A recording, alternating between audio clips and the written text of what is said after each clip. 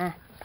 หมดแล้วนะอะมามีเวลาอีกมีไหมนิดเดียวนิดเดียวนิดเดียวนะครับ ได้ค่ะอีกสักหนึ่งข่าวนะฮะค่ะเรื่องของการเลือกตั้งซ่อมที่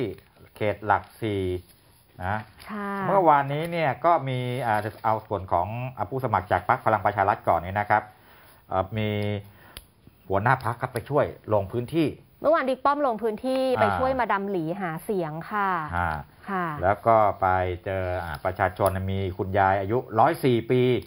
มารอพบเพื่อที่จะขอบคุณรัฐบาลที่ช่วยเหลือในช่วงโควิดนะครับ แล้วก็ขึ้นเวทีปราศัยด้วยนะบิ๊กป้อมอืมในยปราศัย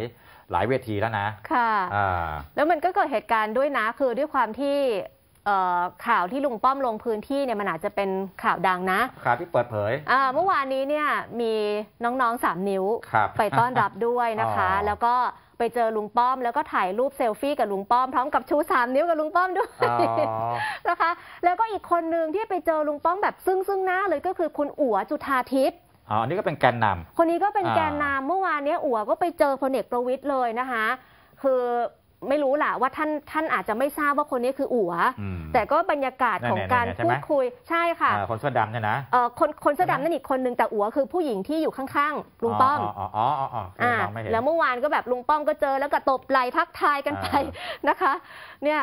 ก็ก็เป็นบรรยากาศที่เออคือรู้แหละว่าคนไปก็คือต้องการที่จะไปแสดงออกไปป่วนไปแสดงอ่าออกอะเพราะว่ามีการถ่ายรูปชูสามนิ้วอะไรด้วยเนี่ยนะคะ คือแต่อย่างนี้ก็โอเคนะ ไม่ไม่ได้อะไรมากมายก็ค่ะเอ่อสนุกสนานกันไปเพราะว่านะถ้าดูจากคลิปวิดีโอเนี่ยลุงป้อมกับกับกับคนที่มาเนี่ยก็มีการพูดคุยถ่ายรูปอะไรกันกันดี เพราะว่า